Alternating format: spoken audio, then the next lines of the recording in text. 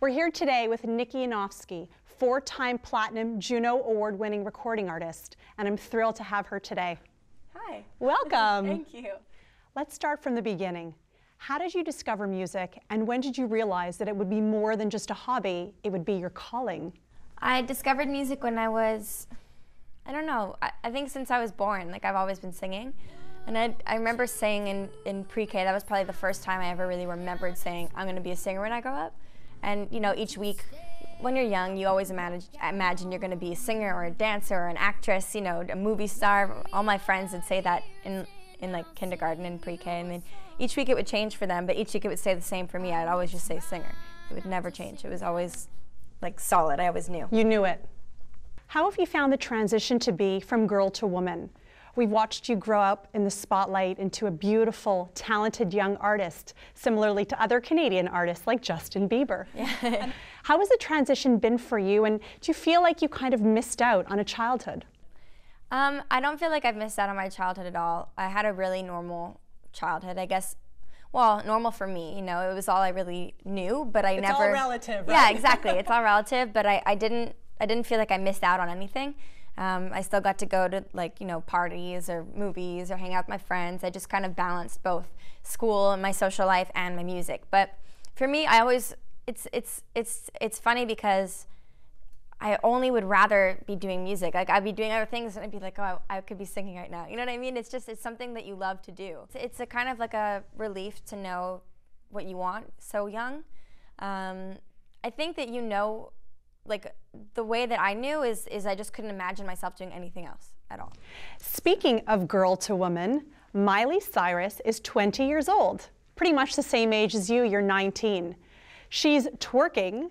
You twerking are singing jazz pop with your clothes on. what do you have to say? What do you think about artists who go that route? I think that everybody has their own strategies, and I think that Miley, everything she's doing is planned. I don't think that she's just you know going crazy. I think that she's she's smart. I, I, I support I support Miley. I mean, I wouldn't necessarily do that, but I think that she's trying to accomplish something and she's doing it. So, good for her. Nikki, you're a pioneer in this young jazz musical space. Can you talk to us about knowing how to stick to your dreams and chase your passions when you may feel alone, like you're the odd man out? How do you prevent or how do you stick to conforming to the rest of the crowd? I think that um, for me, conforming wasn't an option. Like I'm just not for sale. You know, so I, I just I can't. I, it goes against every fiber in, of my being to do something that that isn't me. I just you know, I, have set, I put my foot down a lot in, in, you know, in the past with certain songs, you know, certain uh, songs that are like, say, say, people come up and be like, would you like to sing this song? And it would be a huge hit and da da da. And I listened to it and it's, it, they may be right, it may be a big hit, but it, it does not suit me. So I wouldn't do it just for that reason. You know, I really, I love writing my own music and I think that that has also helped me, you know, maintain my integrity because I'm writing stuff that is true to me because I'm writing it. Let's talk a little bit about your new single, Something New. I just, it's playing on loop in my mind. I gotta say, I love it. It, it actually reminds me of one of my favorite artists, Amy Winehouse. Yes, I love Amy too. So that, I'm good that, I'm happy that you hear some Amy influence in there. I really do. Yeah. You wanna tell me a little bit about that new jazz pop sound? Yeah, I think that it's kind of like a natural transition.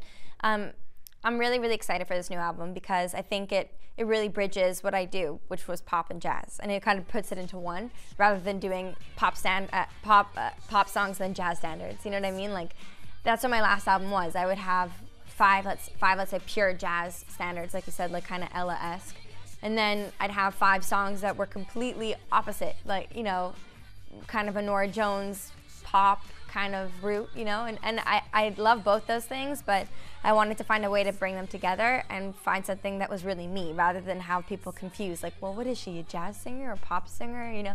So I'm just saying jazz pop, it's, it's kind of just my own genre. And I think that Amy Winehouse started to do that. Her first album especially, was called Frank, and she did a lot of jazz with bigger beats and, and you know, kind of making it more contemporary. And that's what this album does. And um, I think this first single, Something New, really epitomizes that because it, it, has, you know, Watermelon Man from Herbie Hancock in there a little bit. It has Soul Bossa Nova for sure, which is Quincy Jones, as the chorus. It's my tribute to him. Um, and then, you know, the verse has a lot of attitude and is super, you know, 2013. So it just, it's very me. I'm really happy. Speaking of this new jazz pop sound, how have your fans embraced and reacted to this new sound? I'm really happy with the way that my fans have been reacting. I've gotten some some really good uh, feedback so far. Um, you know, you can't please them all, and the most important thing is that you don't even try. yeah, you can't even try no, to do that. the most important thing is that you are happy with it yourself, because if you're not, then it'll come across. You know what I mean? I think that people feel that I that I'm comfortable with with what I'm doing now, and I feel like I've really found myself as an artist. You know, I think part of that is that I found myself more as a human being and um, and that kind of translates to my music. And I think that it's definitely good to you know ask for feedback. I always play my songs for you know trusted friends or you know people that I that I really feel represent. Um, the, the general public, like I'll ask people that really know music and then I'll ask people that know nothing about music because I want to get both extremes, you know? But I think that generally if it's making me want to tap my feet and dance to it, it's, it's a good sign. And also, I'm a really big critic of myself.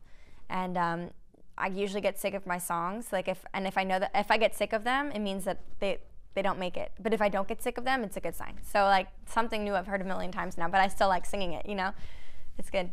If you were in a karaoke bar, what song would you sing? And can you, since you're here, can you sing a few bars for me?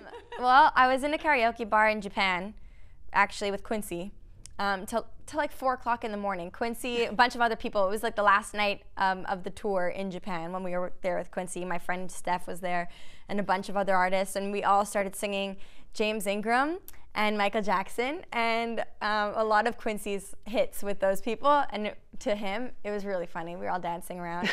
Can you sing me something, anything? I mean, I'm sitting here with such a great artist. I'll sing you, you a bit of Thriller. Um, Rod is gonna laugh.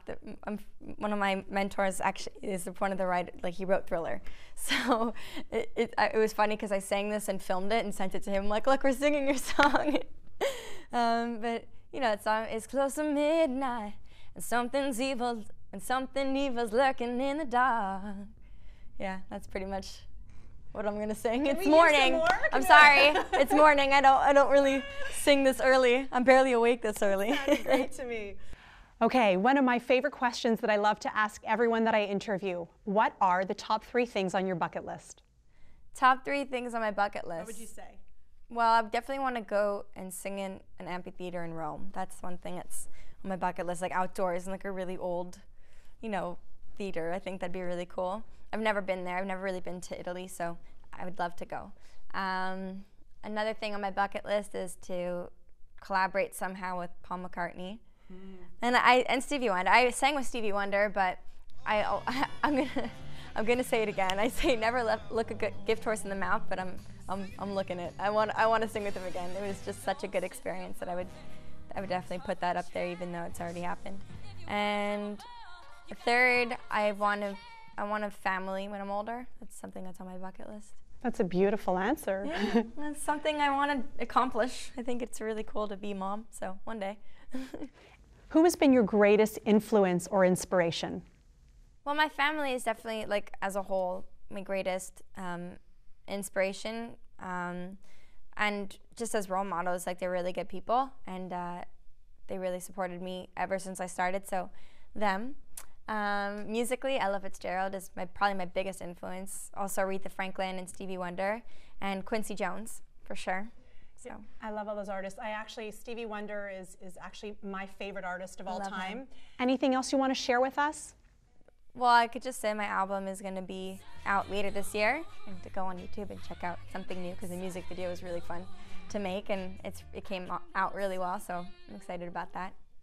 Well, thank you. Thank it's you. It's been such a pleasure. Thank you. Yeah, same. We're, I'm going to look out for your song on the radio yeah. and the TV. I love it. Thank it's you. really great song. Thank you. Good luck.